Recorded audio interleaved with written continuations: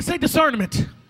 Discernment is not walking around speaking in a bunch of tongues. No, no. Discernment means to see. Can you perceive in the spirit what's going on in your child?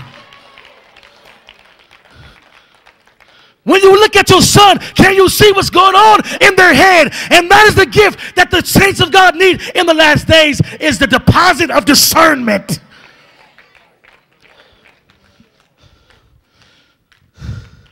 This is what I believe, young people. And I'm going to say this for the next few years. Why is it that the world is very creative and the church is bunk when it comes to creativity? Why is it that the world can have these banging songs and the church got to have these sad, sloppy songs? Don't you hear me? Why is it the pictures and the images of the church of, of the world is the best of the best, but the church is lackadaisical? If you are created in the image of God, you got eternal creativity flowing on the inside of you. God has placed so much creativity on the inside of you, it's going to take eternity to express it. Oh my God, you hear me tonight.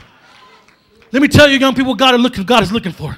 God is looking for actors. God is looking for professors and doctors. God is looking for young people that will come up with ideas that scientists have never seen. God is looking for young folks that will come up with drama skits that will transform people's lives. God is looking for young people that will test the limits and see things that nobody has ever seen before and speak things that have never been spoken before and declare things that have never been declared before.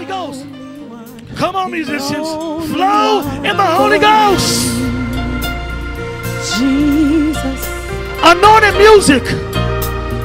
Jesus. The Holy Ghost is here right now to change and transform your life. One, the only one, the only one for me. Push. Jesus. Push. Pray until something happens. Push. I know you're tired. Praise until something happens. Push. Push. I know you're tired, but push. I know you're exhausted, but push. Cry out to the Lord, for He will hear your cry.